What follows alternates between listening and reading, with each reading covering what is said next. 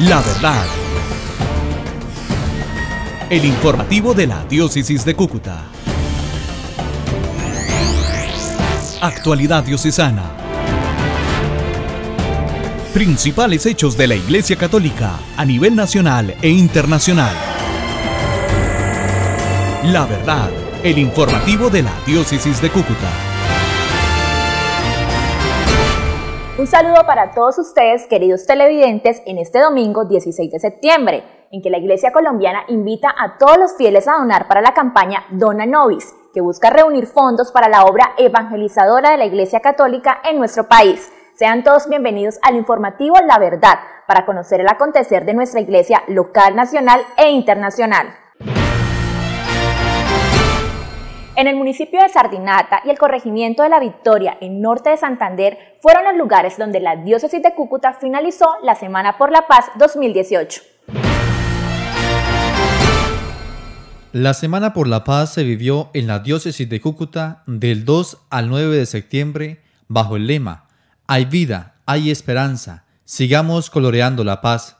El sábado 8 de septiembre se dio el cierre en el municipio de Sardinata en el colegio Alirio Vergel con el conversatorio Protegiendo nuestra casa común como escenario de vida. A este encuentro asistieron líderes sociales y presidentes de juntas comunales. El objetivo de este encuentro que se llama Conversatorio eh, Cuidando la Casa Común está dirigido hacia la sociedad civil del municipio de Sardinata que busca fomentar eh, el cuidado, la conciencia y la incidencia de la sociedad civil para poder transformar la realidad en torno a las problemáticas que más le preocupa a las juntas de acción comunal, a la sociedad civil en general, sobre temas que tienen que ver con la minería, el agua.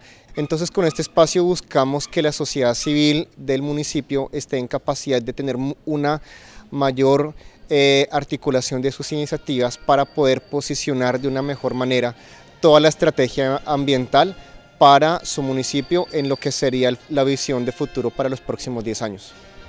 Vengo hoy a compartir dentro de este conversatorio en Sardinata sobre una temática relacionada con el desarrollo sostenible del municipio, proponiendo algunos proyectos productivos que permitan reconciliar las posibilidades de conservación con la producción. Es decir, que podamos producir conservando y conservar produciendo, todo dentro del contexto de la encíclica del Papa Francisco, Nuestra Casa Común. Finalmente, el domingo 9 de septiembre se clausuró la Semana por la Paz en el Corregimiento La Victoria con el Festival del Amor y la Esperanza para un mejor mañana. Estamos acá desde el corregimiento La Victoria del municipio de Sardinata clausurando el gran evento de Semana por la Paz. Bueno, el mensaje es que crean en la paz, que crean que la paz es posible y no es algo lejano a nosotros, se construye con la comunidad, con las acciones cotidianas y con el servicio que prestamos para hacer o para materializar iniciativas locales de paz que surgen en el territorio.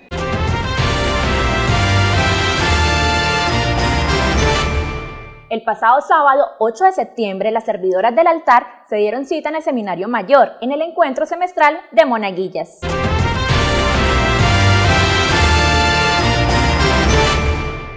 En este sábado nos encontramos en el Seminario Mayor San José de Cúcuta, en donde estamos viviendo una experiencia con todas las monaguillas de nuestra diócesis. También hay que tener un espacio para las mujeres y en especial para estas niñas que sirven al altar sirviéndole también de mucha ayuda al sacerdote. Por eso el seminario junto con la pastoral vocacional quieren también darles un pequeño espacio a estas niñas para que ellas también se vinculen en el seguimiento a Cristo. El tema que estamos viviendo en este día con las monaguillas son las virtudes de María. Vamos también a pedirle a la Virgen María que en esa experiencia, en esa respuesta, en ese llamado, en esa fe, también vaya eh, llevando a nuestras niñas por el camino del bien y por el camino a la santidad. Junto con la Comisión de Animación Bíblica de la Pastoral, vivimos este viernes 14 de septiembre la cuarta Gran Bibliatón en el Parque Santander de la ciudad de Cúcuta.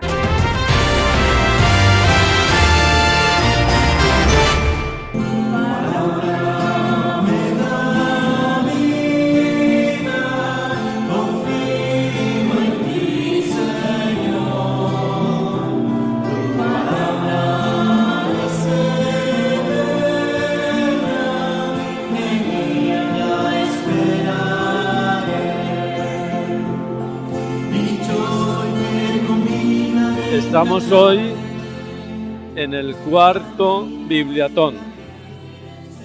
Quiere decir que llevamos ya cuatro años eh, viniendo a este parque eh, una vez para hacer un signo, como les decía ahora, el signo de la palabra del Señor que queremos tanto en la Iglesia Católica, que nos alimenta, que nos ayuda. Eh, queremos visualizarla, ponerla central y ponerla precisamente en el centro de Cúcuta y a la vez pedir como una colaboración económica para comprar algunas Biblias, las que alcancen con ese dinero y entregarla a algunas personas o muchas personas que necesitan la palabra, el texto y se le dona. Entonces esa es como la intención, pero la intención fundamental es hacer un signo de la palabra de Dios en, entre nosotros, en el corazón de la iglesia, en el corazón de, de Cúcuta.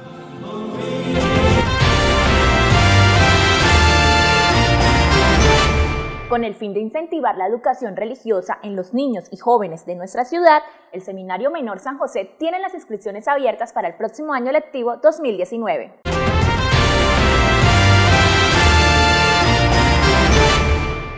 Estamos eh, promoviendo en estos momentos en toda nuestra comunidad diocesana la apertura de las inscripciones o matrículas para el año 2019. Un énfasis muy importante de nuestra institución es abarcar a todas nuestras familias católicas con la finalidad que conozcan nuestro proyecto educativo, un proyecto que está basado en la formación integral de acuerdo a los lineamientos de la doctrina de la Iglesia Católica. Por ese motivo mm, he querido extender a través de este medio, hacer un llamado, una invitación a todas nuestras familias para que se acerquen, conozcan nuestra institución, identifiquen también todo lo que la institución está haciendo en pro el desarrollo, el crecimiento educativo a favor de todos nuestros niños y niñas. El seminario tiene las puertas abiertas para los niños y niñas de primaria, desde primerito hasta undécimo grado. ¿Qué ofrecemos en nuestra institución? Ofrecemos un acompañamiento integral Contamos con un equipo interdisciplinario, contamos con un grupo de docentes eh, capacitados en la formación integral y estamos empeñados en ese sentido en brindarle y facilitarle todos los medios y recursos necesarios para que los niños avancen en ese proceso de formación académica. Eh, no simplemente le dedicamos el aspecto académico, aquí la parte humana, cristiana, el acompañamiento con las familias, eh, la asistencia en los procesos, hace posible que los niños vayan recibiendo un proceso de transformación interior y es lo que estamos apuntando en estos momentos en nuestra institución liderada por nuestro obispo y en el cual pues su servidor en estos momentos pues está haciendo todo este proceso de acompañamiento.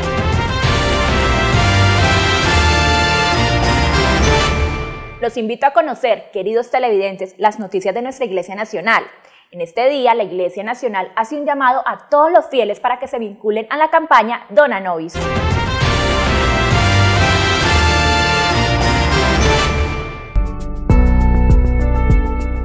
Dona Nobis, que significa en español Danos, es una campaña de la Conferencia Episcopal de Colombia que busca reunir fondos para la obra evangelizadora de la Iglesia Católica Romana en nuestro país. ¿Qué hacemos? Impulsamos el trabajo pastoral de la Conferencia Episcopal de Colombia en el diseño y gestión de proyectos evangelizadores para ayudar especialmente a las comunidades en situaciones vulnerables de las 77 jurisdicciones eclesiásticas, arquidiócesis, diócesis y vicariatos apostólicos de nuestra Iglesia Católica en Colombia. Asimismo, la campaña Dona Novis permite optimizar los procesos que a nivel nacional lidera la Conferencia Episcopal de Colombia desde Bogotá a través de sus centros pastorales y departamentos. Nuestra invitación La campaña Dona Nobis es una invitación a sentirnos parte de la Iglesia Católica, de hacernos corresponsables de ella, de vincularnos más, comprometernos y ayudar a la Iglesia a llevar la buena noticia y la construcción del reino de Dios. ¿Cuándo? Domingo 16 de septiembre.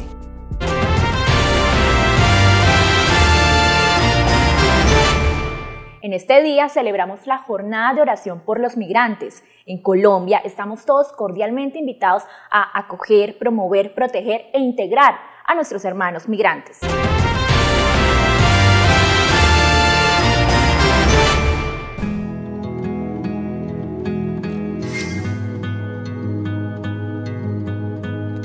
A este centro de acogida Divina Providencia de la diócesis de Cúcuta, los voluntarios entre colombianos y venezolanos llegan a las 7 de la mañana.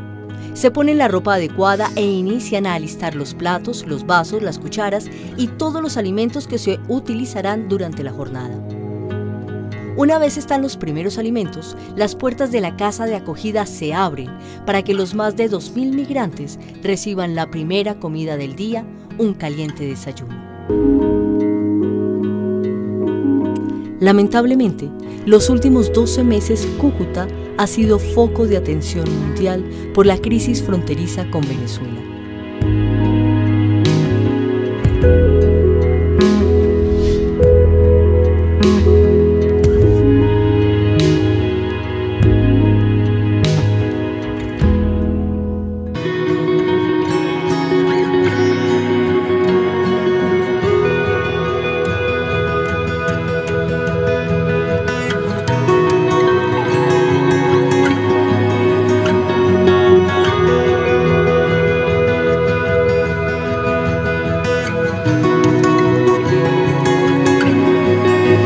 En Cúcuta me ha acogido ayudándome legal y jurídicamente para poder saber en qué oficina ir y qué documentos debía llevar para que mis hijos pudieran gozar de la educación en Colombia. Y por eso yo estoy muy agradecida.